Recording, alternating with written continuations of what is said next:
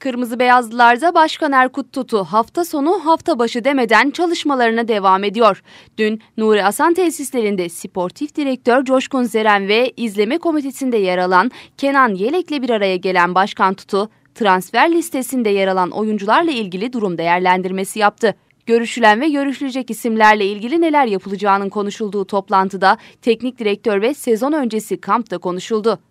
Kampın Kocaeli Kartepe'de yapılması kararlaştırılırken tarih ise teknik direktör görevi geldiğinde netlik kazanacak.